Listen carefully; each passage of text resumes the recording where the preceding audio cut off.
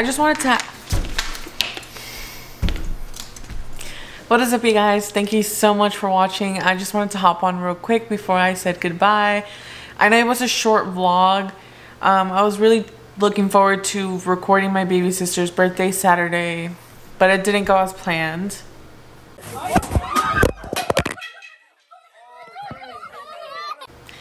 Yeah, luckily nobody got hurt. Um, not even a scratch or a bruise on her head. Mainly it, the stick hit my boyfriend, but he's fine. No bruising, no, nothing on his head.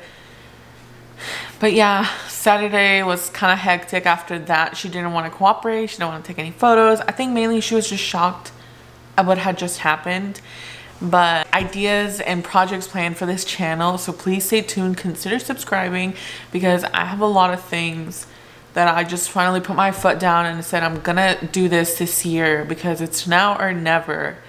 And there's things that I've been contemplating on doing for several years. And finally like i know it's like right better late than never. I want to focus on my self-love. I gained a couple weight on being in a relationship the relationship 20 the famous relationship 20 and i think it's finally time that i got rid of it because i finally have my own place now i can make my own food. I can, you know, I have my own place now. So it's time to get my stuff together. I will be posting, I am attending the farmer's market in my hometown.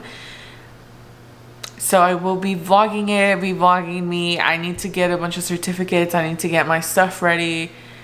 And yeah, I'm just super excited to get started and I hope you guys enjoyed this video because I will be posting a lot more. I will be taking a lot of things out, you know, on Instagram, on YouTube. So consider following and subscribing on all my social medias. I will have them in the description down below. Also, Dulce, my dog, she's a Rottweiler. She has her own Instagram and she already has more followers than me. So you know what consider following her too right like she's so cute um she's currently teething so any tips on dogs teething please let me know uh so yeah. Thank you guys so much for watching. I just wanted to